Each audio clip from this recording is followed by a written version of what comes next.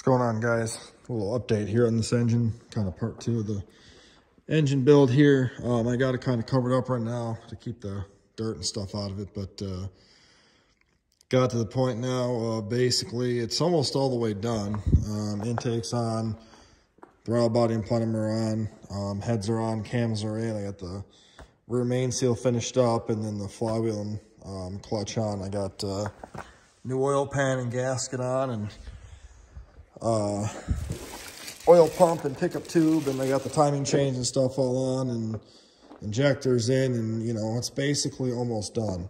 The point of the video is these are competition cams, stage four cams, okay? And I have really bad piston to valve contact.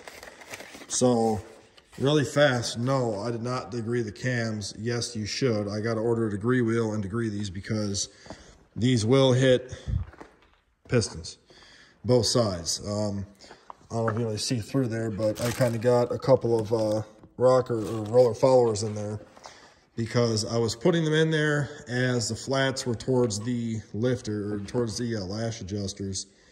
And uh, I got to the point on the driver's side over there where um, number six intake, number six exhaust, I'm sorry, uh, was hitting. So I took it back out, rotated fine, decided to just keep putting them on this side and I got to uh, number one exhaust and it was hitting as well. And it's right where the lobe is at the very bottom where it's at uh, um, the max valve lift. So the uh, stuff for this here, um, these are the cam cards you get. And, uh, you know, I was reading up online where people say, oh, you don't need to degree these cams because they're not going to hit and all their low lift and all this stuff. And I'm just making this for you guys. This is a non-PI bottom end with PI heads on it.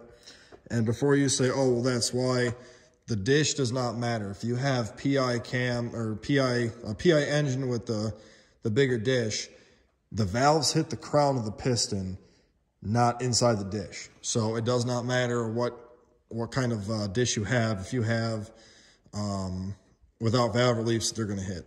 So maybe some of you out there put these in with no problems. Um, I gently spin over my hand because I uh, I don't want to put all together and try and start it and then have it you know break a valve off. So for right now, um, I just have it uh, right and spin it by hand. So now I gotta get degree wheel and degree the cams. And no, I do not have adjustable cam gears. If you get these cams, I would say buy them. Um, I and got an AutoZone timing set to put on here because I was going to try and make uh, one good set out of two bad ones. And I was like, yeah, I'm just going to buy a new set. So I went and bought a set from AutoZone to put on here. And it's Cloyes set. So it's a decent set. Um, but uh, if I get this off a little bit here. Uh, I just covered it up for the video, not thinking about me doing a video. Um, you know, but yeah, I uh, did all that and, and whatnot. And just kind of sucks because I wanted this engine done. I'm sick of uh, having this thing like almost done. And so it's pretty close though. Um, it would have been done if that wouldn't have stopped me, but just a little um, thing here for if you decide to go with camshafts, I'm pretty sure a stage two comp is the biggest you can go without having piston to valve contact. So just something to think about. Um, but I also want the uh, aluminum flywheel actually off of a three valve car. So that's an 11 inch clutch with a aluminum flywheel on there. Um, one thing I didn't think about I put the intake on is that my chain has completely crushed um, this hose, which not that word because it's pretty cracked anyway. So um, I plan to run E85 on here. So I'm going to replace this hose anyway because um, I guess this will deteriorate with uh, with the ethanol. So, but uh, also, fun fact here. Um, do not buy these shitty ass headers from, I'm assuming these are those American Muscle cheap ones, not the BBKs, or is there eBay headers. Um, they don't line up or fit at all. So when you put them on, only four holes will fit. The other two are, or the other four are way off, okay? And you can see where somebody started trying to grind this out a little bit before I got them. Same with over here. The issue is if you grind the holes bigger to move them over, then the exhaust ports actually get covered up by part of the cylinder head. So these heads are headers are worthless. They're they're absolute trash. I wish I would have bought them. This side here I put on already, and they had to be ground out. And it didn't occur to me at the time, putting it on there, that by making the holes bigger in there and then moving the header over to make it fit, um, it was going to cover up the exhaust port holes. So I got to take that side back off and then uh, buy a different set of headers. So I'm probably going to go with long tubes and just put long tubes on this thing because uh, these ones here are trash, 100 bucks down the drain. So I bought these used off of a marketplace.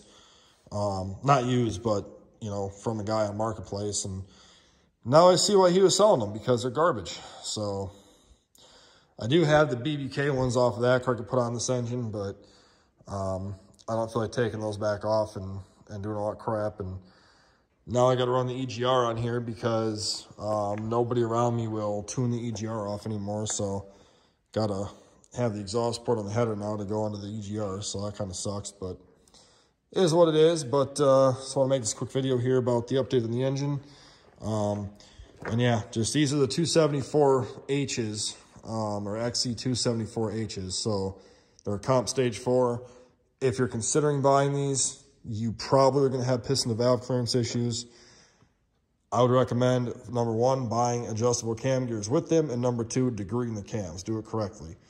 Um, I got to buy a degree wheel now and do this shit because they don't work. And uh, now I got to buy different headers because those ones don't work. And so there's that. But uh, that's it for now. We'll talk to you guys later.